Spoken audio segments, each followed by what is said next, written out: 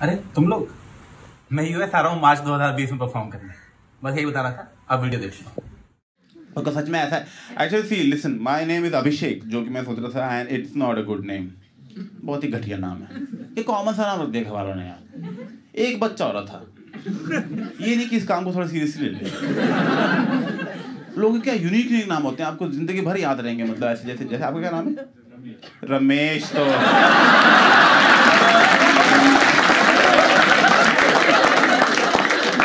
अभिषेक से घटिया सिर्फ़ एक और नाम है। पता? लिटरली क्या यार? फ्रंट में बैठे रमेश। अभिषेक? कौन बुला रखे हैं?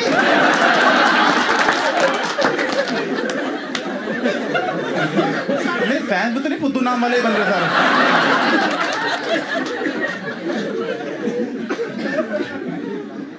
किसी को लगता है उसका नाम यूनिक है किसी को लगता है मॉरिस भाई ये कौन सी भारत है ये तेरे घर वालों ने क्या सोच के रख दिया था नाम मॉरिस और और किसको लगा था आयुष्मान आयुष्मान कौन सा बहन सुना है एक्टर अबे कॉमन कॉमन नहीं यूनिक चाहिए यूनिक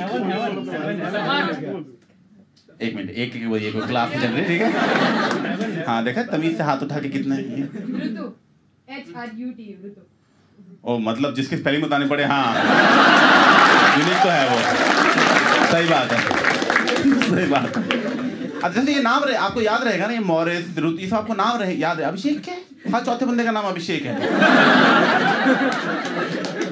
ये डेढ़ सौ लोगों में दो निकल आए। और कोई तो नहीं अभिषेक? अबे तू भी अभिषेक है?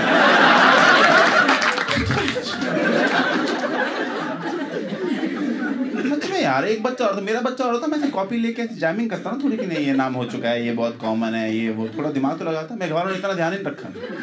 घर ला रहे थे, नीचे पे चला रहा था। अभिषेक क्या भाई रखते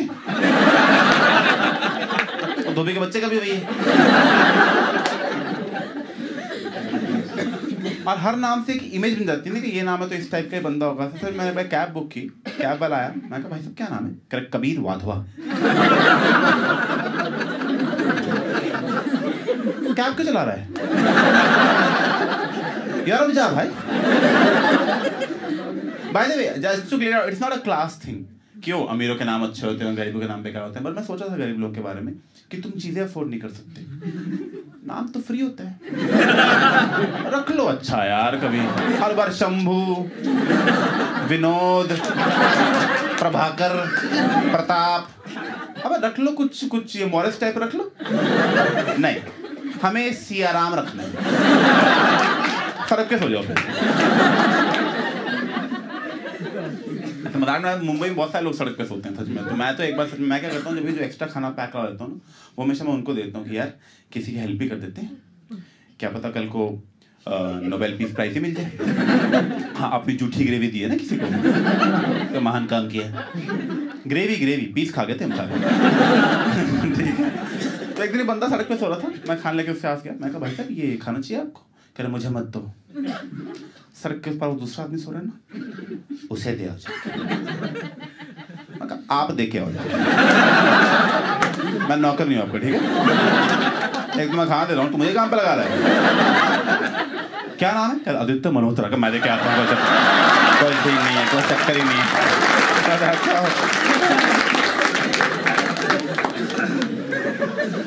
मुंबई वाला की सीन चल रहा है यार, ये सच में मुझे मुझे तो सच में मुंबई में बहुत बड़ी गलती कर दी थोड़े दिन पहले।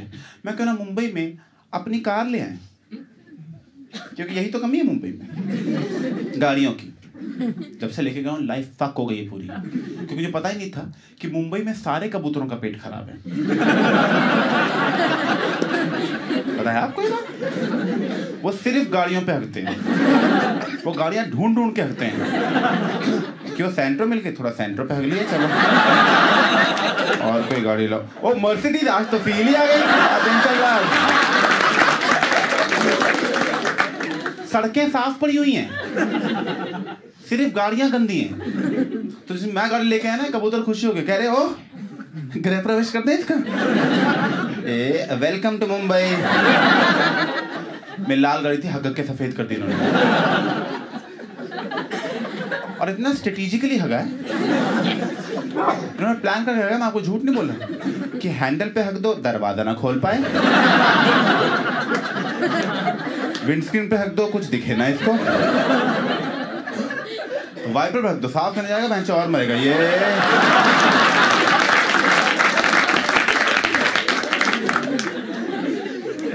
बहुत गंदी करती थी गाड़ी, सच में यार। मैं उसको गया सर्विस स्टेशन धुलवाने के लिए? मैं कहा गाड़ी दो दो। कह रहा, दस हज़ार रुपए लगेंगे। क्या हो गया गाड़ी? पाँच सौ धुलती है भाई, क्या हो गया? कह देखो तो गाड़ी क्या है, ये देखो इसे जरा। इसको पहले घर से थोड़ा आप धो के लाओ। सुबह से तो हम नहीं धो रहे बैठ के इसको मैं दस हज़ार तो नहीं दूँगा मैं तो अगले दिन मैं कहा, खुद ही धुलवा देते हैं गाड़ी मैं सुबह उठा गाड़ी के पास गया देखा वहाँ गाड़ी ही नहीं है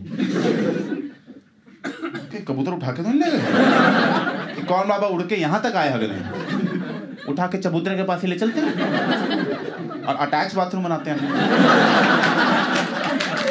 तो वहीं पे एक बंदा बैठा हुआ था। मैं कहा भाई साहब यहाँ पे लाल गाड़ी थी देखिए आपने लाल रहा, ले गए पुलिस वाले। मैं कहा हंसने की बात नहीं है इसमें कोई। ठीक है? रुक जब गाड़ी निकाल के लाके तुझ पे चढ़ा दूँगा। ऐसे बॉम्बे बच जाते हैं सब करके यहाँ पे। तो ना फिर मैं पहुँचा। ओ कोई बात नहीं। मैंने तो अभी भी गलती नहीं की। मैं पहुँचा पुलिस स्टेशन। मैं कहा मेरी गाड़ी लाया आप? कह रहे हैं, हाँ। बड़ी गंदी पड़ी थी। मैं ये कौन सा लॉ है? कि गाड़ी अच्छी दिख नहीं रही थी सड़क पे रहना ही डिजर्व नहीं करती मैं रिपोर्ट में क्या लिखा है? छी।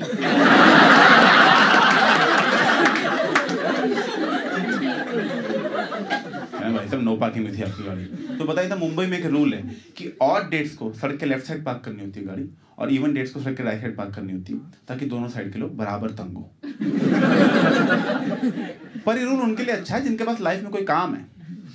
को, रोज कहीं जाना होता है। फालतू लोगों के लिए रूल नहीं है। तो मैं दस दस दिन अगर गाड़ी एक ही जगह खड़ी रखूँगा तो पाँच दिन हमेशा नो पार्किंग में रहेगी ना। तो शुरू के दस दिन में पाँच बार मेरी गाड़ी उठा ले गए। पांचवी बार उनके पास गया मैं किधर क्या और कोई क्राइम नहीं होता मुंबई में?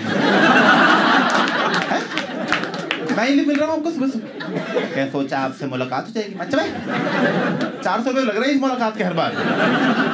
ये कैसी दोस्ती है? लेकिन एक चीज़ नोटिस की, जब पुलिस स्टेशन में गाड़ी खड़ी होती ना, तब नहीं कोई चिड़िया हग रही। ऊपर से पुलिस की सिक्योरिटी अलग। मैं कहा, यार, मैं हफ़्ते हफ़्ते के दिल्ली जाता हूँ, हमेशा टेंशन में रहता हूँ कि यार गाड़ी वहाँ सेफ़ है कि नहीं? इससे अच्छी पार्किंग मिलेगी चार सौ रुपये में आपको। तो मैं तो जब तुम्हें दिल्ली जाना था, मैं हाईवे पे ला लाके जा रहा हूँ गाड़ी में ले जाओ। ले ले ले। जाओ, अगलो, जाओ। कबूतर वो निकली, तीन तीन रोक के बैठे रहते थे, आएगा तब हग लेंगे।